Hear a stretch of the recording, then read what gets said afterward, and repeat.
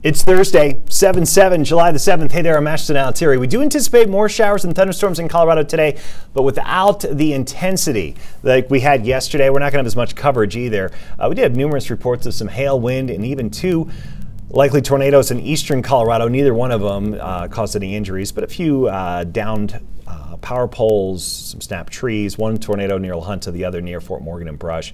The severe weather threat for today is lower overall, but we do have a marginal threat on the eastern plains for a thunderstorm producing some hail or wind. It's unlikely that we'd have any severe thunderstorm warnings in the Denver metro area, but not impossible because we will see a few storms today.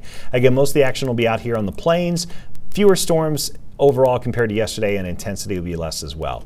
Overnight tonight, we'll see that thunderstorm activity come to an end. Tomorrow, chance for storms is even smaller compared to today, and by the time we get to the weekend, chance for storms will be near zero as this big ridge of high pressure that's over over Arkansas right now retrogrades back toward us, moves west as we approach the weekend. This is like a big mountain of heat that'll be parked right over Colorado for Saturday and Sunday. So sunny and hot statewide, even in the mountains. It's going to be quite toasty and almost no chance for storms anywhere in the state for the weekend. Temperatures today will be in the 60s and 70s in the high country, upper 80s in Denver. A few areas could hit 90 today, but far more likely will be in the 90s for tomorrow. And then we just crank up the heat even more for the weekend. 98 on Saturday, 99 on Sunday. First alert weather days possible both days this weekend as we do anticipate anticipate the National Weather Service issuing a heat advisory for the uh, Denver metro area.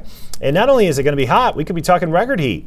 Uh, record on Saturday is only 98. I say only because it's one of the lowest high record high temperatures we have in the month of July. Most of them are in the triple digits. Early next week, temperatures uh, drop to around 90.